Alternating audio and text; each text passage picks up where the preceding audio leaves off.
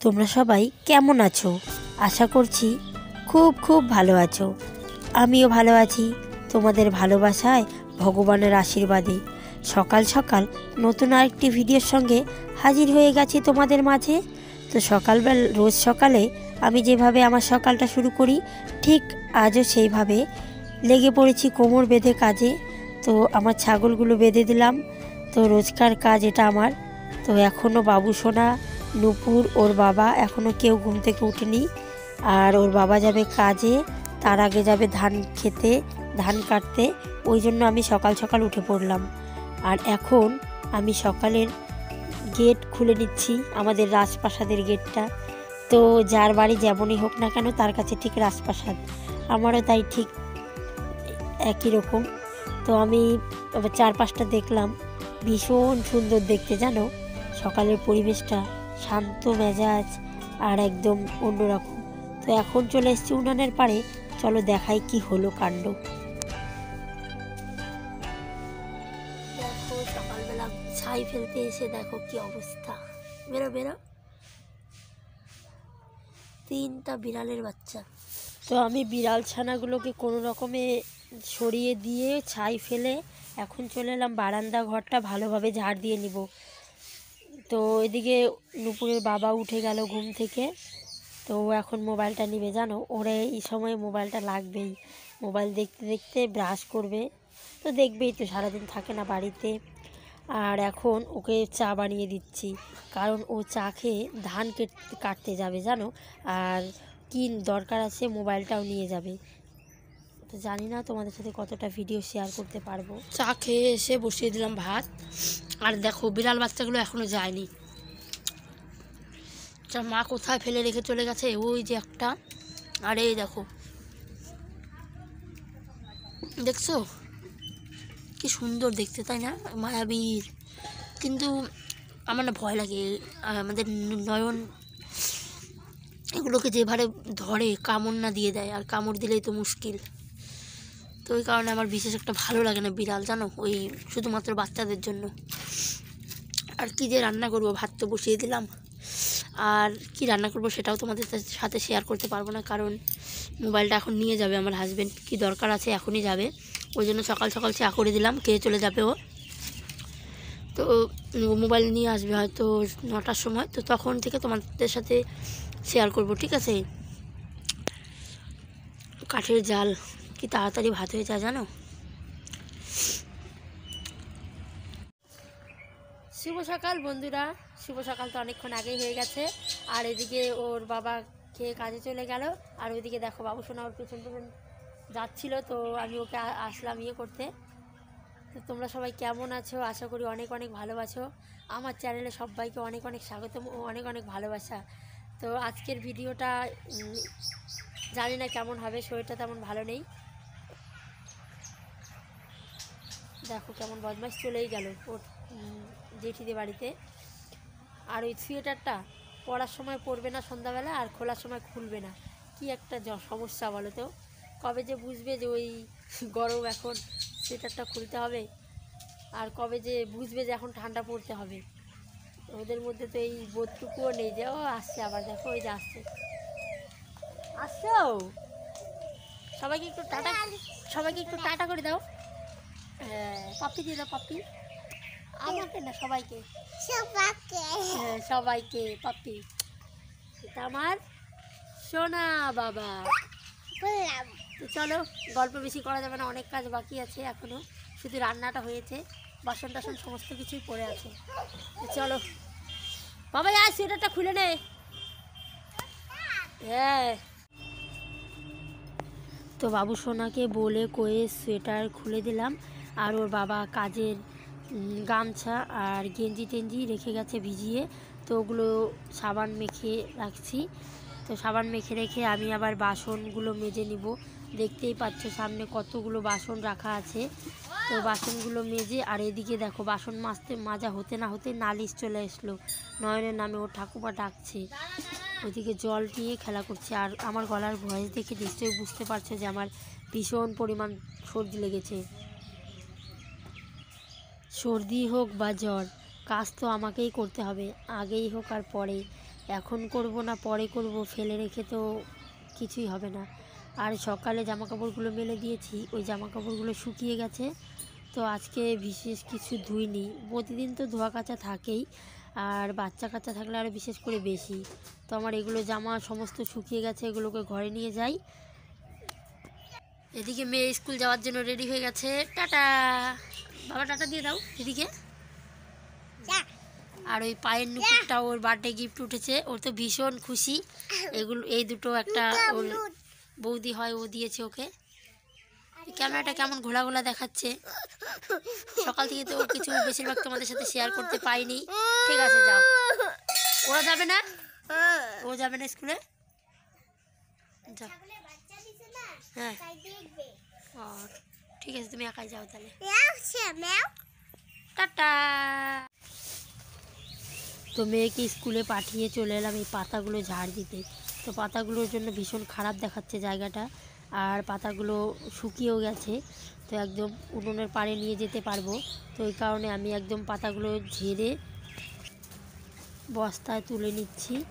আর এখন বস্তায় তুলে নিয়ে তারপর ওগুলো একদম উনুনের পাড়ে নিয়ে যাব।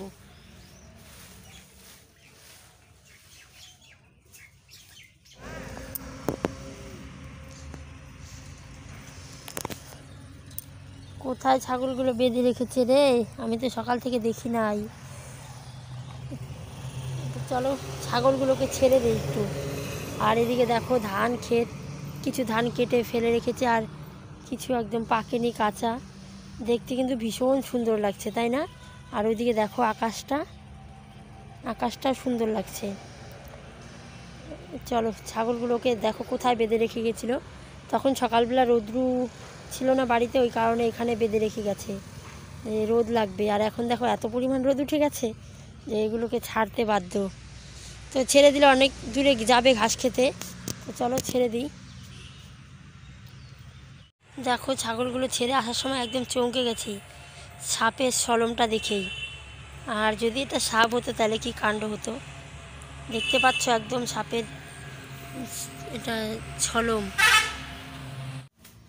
আর আমি স্নান করার জন্য কাপড়, গামছা বের করে নিয়েছি। তো ওগুলোকে রেখে আমি আবার আবার ঘর বারান্দাটা ঝাড় দিয়ে নেব। তো দুপুরবেলা ঝাড় না দিলে আবার স্নান করে আর ঝাড় দিতে ইচ্ছে করে না। তো আমি এখন আগে ঘর বারান্দাটাও, ঘরটা ঝাড় দিয়ে নিলাম।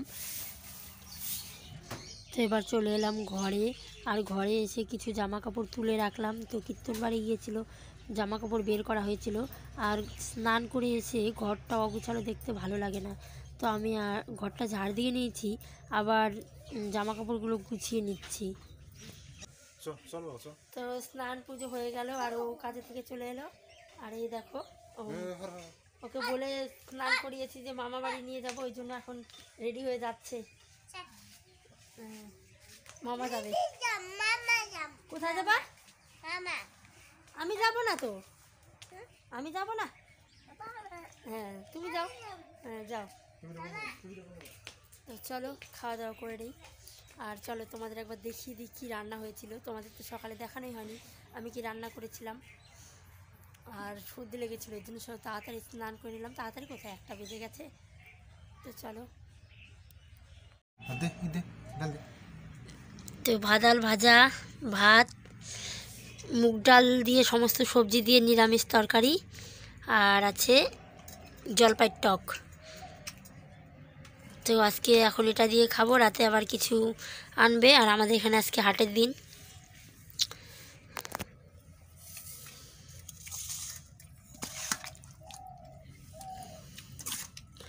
সকালে তেমন রান্নার কিছু ছিল না।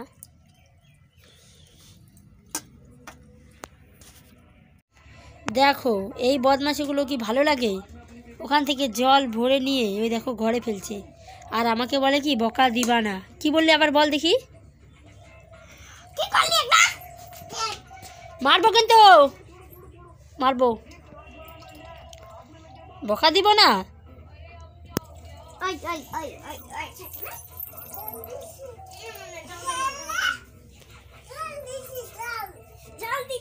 পিটাবো কিন্তু বলে দিলাম। হ্যাঁ। তাড়াতাড়ি আয় তাড়াতাড়ি আয়। কাকে পিটাবি? হ্যাঁ আয়। তো আমি বাবু সোনাকে ঘুম পাড়াতে চাইলাম, কিন্তু ও তো ঘুমালো না, বরঞ্চ আমাকেই ঘুম পাড়ায় ও। আমি আর ওকে কি ঘুম পাড়াবো?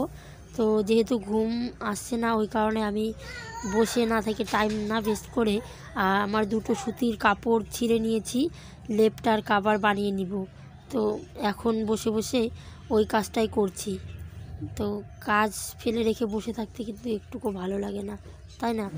আর লেপের কাবারটা একদম ছিঁড়ে গেছে, ওই কারণে আমি বাড়ির সুতির কাপড় দিয়েই বানিয়ে নিচ্ছি।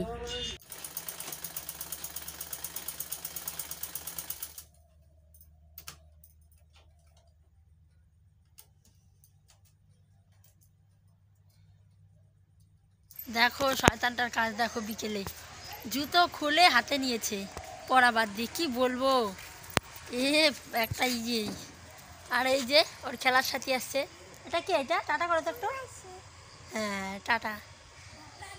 তুমিও করো, টাটা করো। না, জুতা ধরে আছো থাক থাক, টাটা করতে হবে। চলো সোয়েটার টুয়েটার পরা দিয়ে হাত পা দিয়ে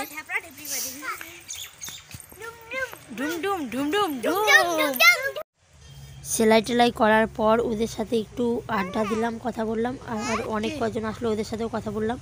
আর এখন দেখো এদিকে সূর্য মামা ডুবু ডুবু ভাব, তো দেখতে কিন্তু ভীষণ সুন্দর লাগছে। তো ওই জন্য ভাবলাম তোমাদেরকেও একটু শেয়ার করে দিই।